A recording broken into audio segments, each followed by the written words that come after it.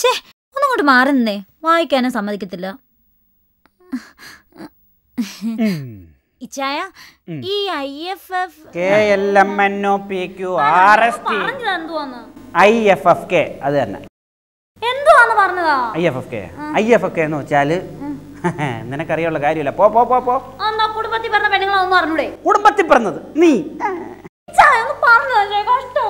International film festival of Kerala അത്രയേ ഉള്ളൂ. Cinema കാണിക്കൽ അല്ല ഇന്ത്യയിൽ നിന്നുള്ള പല ഭാഗത്തു നിന്നുള്ള സിനിമകൾ അതുപോലെ തന്നെ രാജ്യത്തിന്റെ പുറത്തു നിന്നുള്ള ഇഷ്ടംപോലെ സിനിമകൾ എല്ലാം കേരളീയന് കാണാനുള്ളൊരു അവസരം ഉണ്ടാക്കി കൊടുക്കൽ. അയ്യോ. നമുക്ക് പോകാൻ പറ്റിയ സ്ഥലമല്ലത്. എന്താ നമ്മൾ പോയാ കുഴപ്പം? കുഴപ്പമല്ലേ? അവിടെ കുഴപ്പങ്ങളേ ഉള്ളൂ. നീ പോയെന്ന് കണ്ടു നോക്ക്. എന്താണ് കുഴപ്പം? പോടി.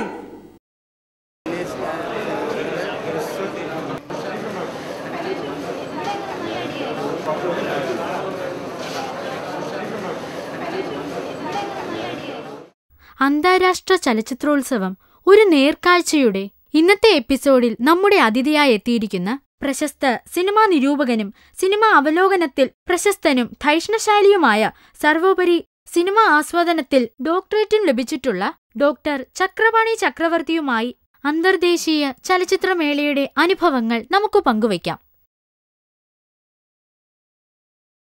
എക്സ്ക്യൂസ് മീ സർ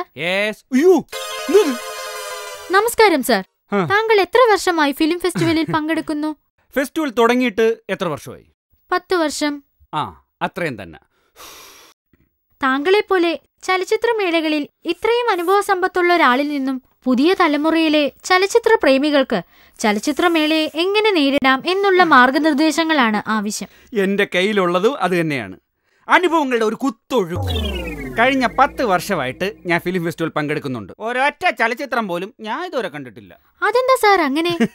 ഈ ഓപ്പൺ ഫോറങ്ങളും വിമർശനങ്ങളും ചർച്ചകളും ഇന്റർവ്യൂ ഒക്കെ കഴിഞ്ഞിട്ട് പിന്നെ സിനിമ കാണാൻ സമയം കിട്ടാറില്ല. ചലച്ചിത്രമേളകൾ കാണാനുള്ള തയ്യാറെടുപ്പുകൾ എന്തൊക്കെയാണ് സാർ? വർഷങ്ങളായി ഒരേ കാലഘട്ടത്തിലാണ് ഈ ഫിലിം ഫെസ്റ്റിവൽ നടത്താറുള്ളത്. ആ സമയത്തിന് ഒരു മൂന്നാൽ മാസങ്ങൾക്ക് മുന്നേ ഒരുക്കങ്ങൾ തുടങ്ങണം. വളർച്ച ഇല്ലാത്തവരാണെങ്കിൽ ഒരു ഒരു വർഷം മുന്നേ തുടങ്ങണം. ബുദ്ധി വളർച്ചയായിരിക്കും താങ്കൾ ഉദ്ദേശിച്ചത്? ബുദ്ധി വളർച്ച തിയേറ്ററിൽ പോരുന്ന സിനിമ കാണാൻ ബുദ്ധി എന്തിന്? ഞാൻ ഉദ്ദേശിച്ചത് രോമ വളർച്ച രോമ വളർച്ച അതെ. താടി വളർത്തുക. തലമുടി നീട്ടി വളർത്തുക. അപ്പൊ സ്ത്രീകളോ? സ്ത്രീകൾ നേരെ തിരിച്ച് സ്ത്രീകൾ ഉള്ള മുടി വെട്ടിക്കളയണം. പുരുഷന്മാരെ പോലെ. അതായത് ഇതിലെ സിമ്പിൾ ലോജിക് എന്താണെന്ന് വെച്ചാൽ നമ്മൾ ചലച്ചിത്രമേളകളിൽ പങ്കെടുക്കുമ്പോൾ സ്ത്രീകൾ പുരുഷന്മാരായും പുരുഷന്മാർ സ്ത്രീകളായും ജനങ്ങൾക്ക് തോന്നണം. പിന്നെ നമ്മൾ ഉപയോഗിച്ച് ചവിട്ടുകൊട്ടയിൽ കളഞ്ഞ നീളൻ സഞ്ചി. പിന്നെ മുഷിഞ്ഞ ജുബ ഇത് മുഷിഞ്ഞതാ. പിന്നെ കഴുകാത്ത ജീൻസ് പത്ത് മാസമായി കഴുകിയിട്ട്. പിന്നെ കാലുകളിൽ തേഞ്ഞ സ്ലിപ്പേഴ്സ് ഇതൊക്കെ അനിവാര്യമാണ് സർ ഇതല്ല ഞങ്ങൾക്ക് അറിയേണ്ടത് ഈ മേള തുടങ്ങിക്കഴിഞ്ഞാൽ എന്തൊക്കെ ചെയ്യണമെന്നുള്ളതാണ്. അതോ മേള തുടങ്ങിക്കഴിഞ്ഞാൽ ആദ്യം ചെയ്യേണ്ടത് ഊർജ സംഭരണം ചേട്ടാ ഒരല്പ വഴി തരൂ. ഇത്തിരി കുടിച്ചിട്ട് പോകാനാ ഒമ്പതിന്റെ ഒമ്പതിന്റെ ഒന്നുമില്ല ഫിലിം ഫെസ്റ്റിവൽ തുടങ്ങി അറിഞ്ഞില്ലേ? പിന്നെ എത്രയുടെ? പന്ത്രണ്ട് പന്ത്രണ്ട്. ആ ആ, എടുത്തോ.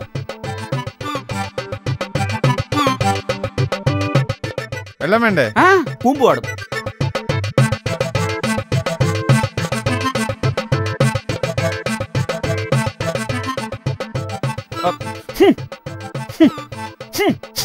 എന്തൊരു നാറ്റം?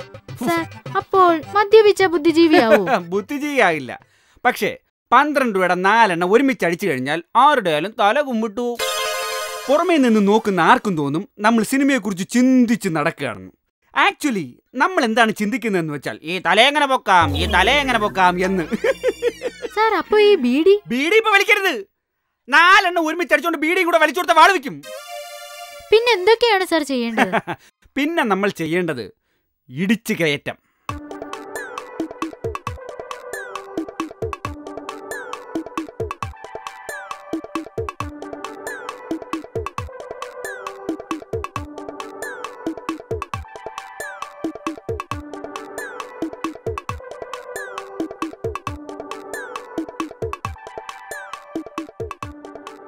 ഇങ്ങനെ നമ്മൾ സിനിമാ ബുദ്ധിജീവികളുടെ ഇടയിൽ ഇടിച്ചു കയറി നിൽക്കുന്നത് കാണുമ്പോൾ ജനങ്ങൾക്ക് തോന്നും നമ്മളും ഒരു സിനിമാ ബുദ്ധിജീവിയാണെന്ന് ഇത്രയൊക്കെ ചെയ്താൽ മതിയോ സാർ? ഒരു ബുദ്ധിജീവിയാകാൻ. പോരാ പോരാ പോരാ പോരാ പോരാ.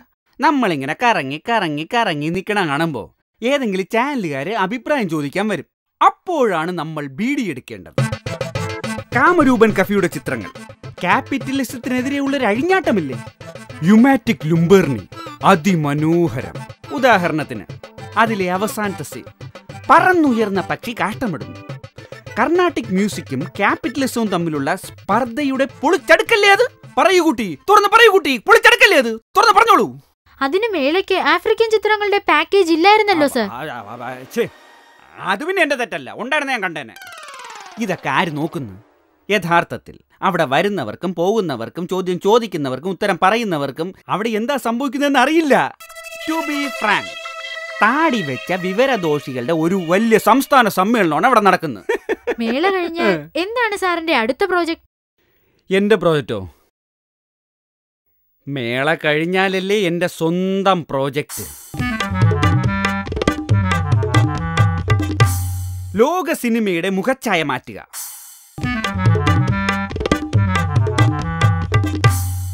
മാലിന്യമടിഞ്ഞു കിടക്കുന്ന സിനിമയുടെ യഥാർത്ഥ മുഖം വെളിച്ചത്ത് കൊണ്ടുവരിക. സിനിമാ രംഗം വെള്ളം തെളിച്ച് ശുദ്ധമാക്കുക.